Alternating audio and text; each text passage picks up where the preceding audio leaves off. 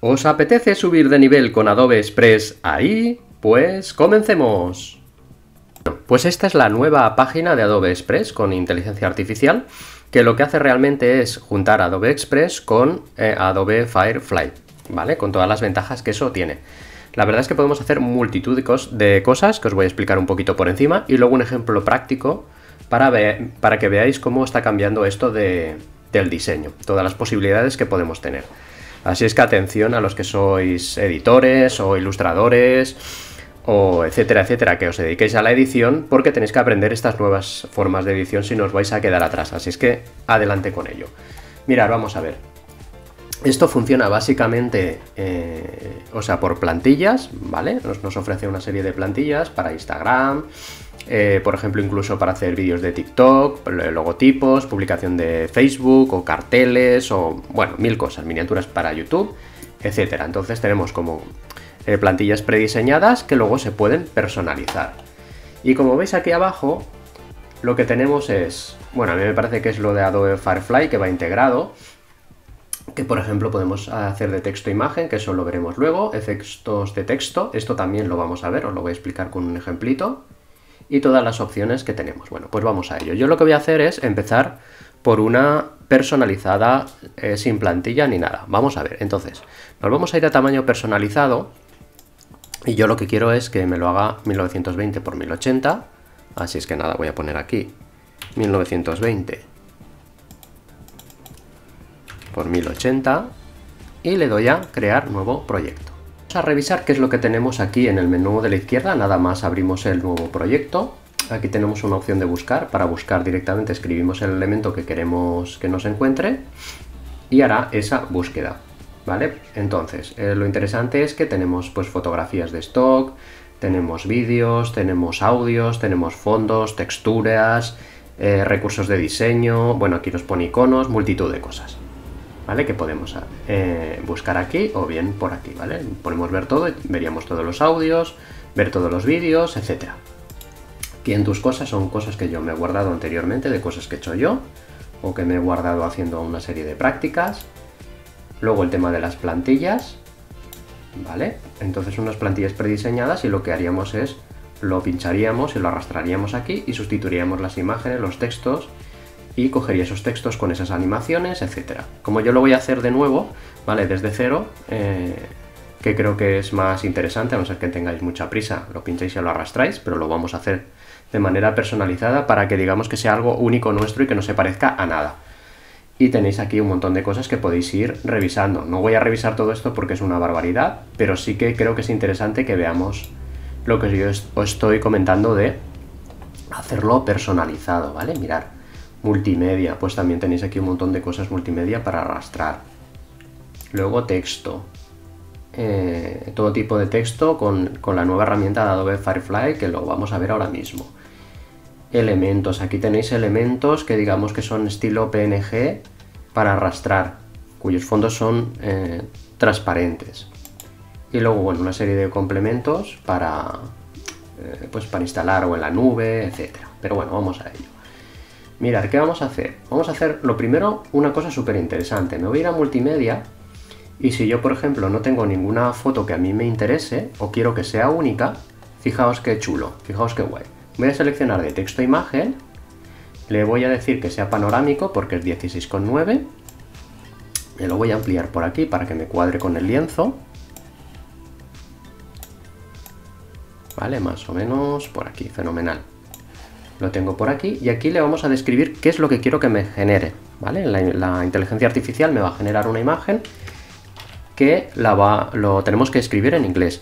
A mí se me ocurre, por ejemplo, hacer eh, una portada un, poquito con animación de, de, una jardinería. Entonces, lo que he puesto es una chica sujetando una maceta con una planta. Vamos a... Bueno, de aquí de ilustración creo que no. Quiero, lo que quiero es que me haga una foto y le voy a dar a generar y vamos a ver qué resultados nos da y seleccionaremos la que más nos interese. Vamos a esperar un poquito a que haga todo este procesado. Y fijaos qué pasada.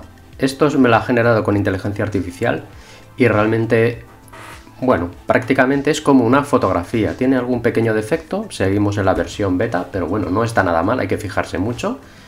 Y voy a ver cuál de todas las imágenes son las que a mí más me gustan. A ver, prefiero la primera, por ejemplo. Voy a seleccionar esta de aquí. Bueno, si no me gusta le voy a dar a cargar más. Para que me genere unas nuevas. Voy a esperar por si acaso. Igual me genera otras cuatro y alguna de estas otras pues me, me interesa más.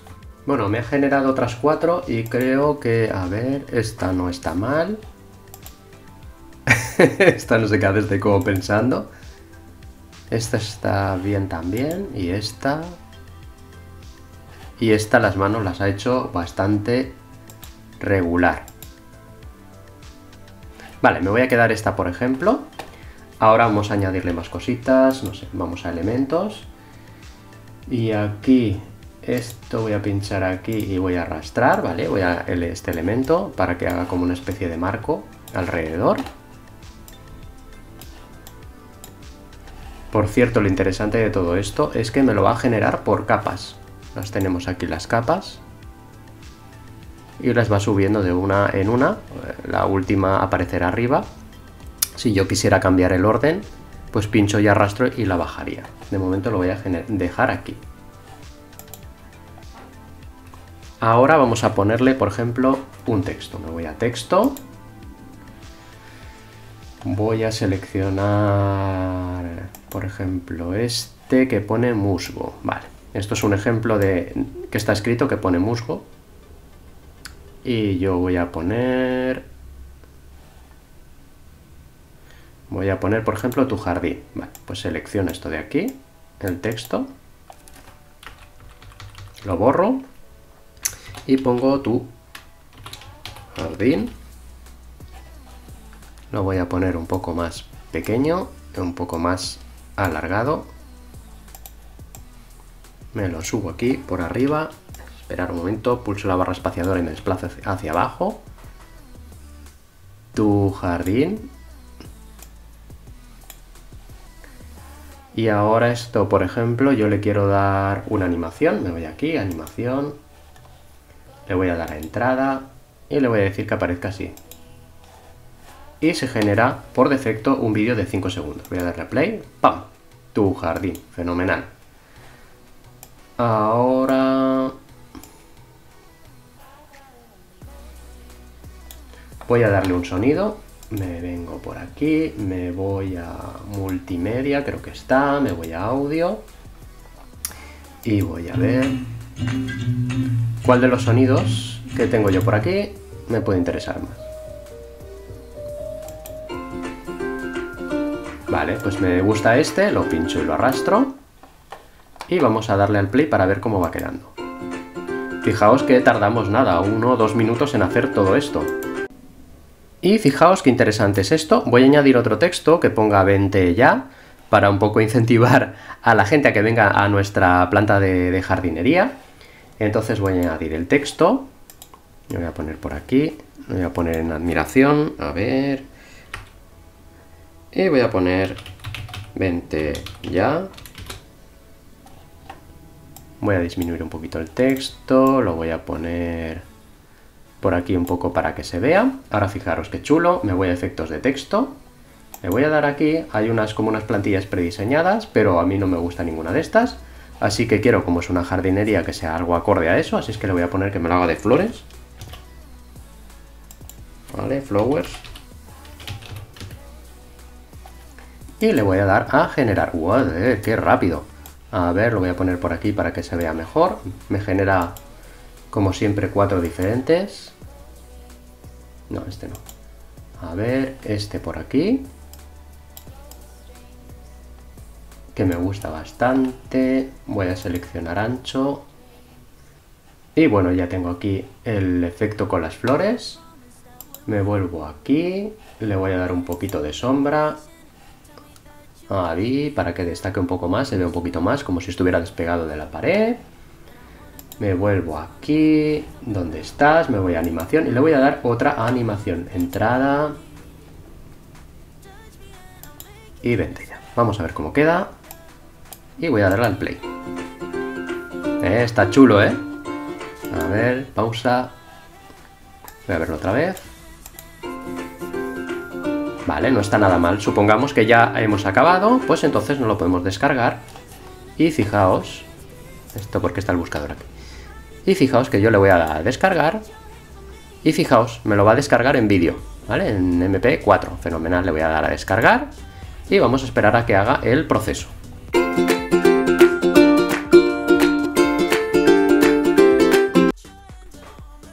Bueno, espero que os haya gustado esta introducción a Adobe Express con inteligencia artificial. Nos vemos en el siguiente vídeo. Recordad disfrutar de la fotografía, de la edición y de la inteligencia artificial.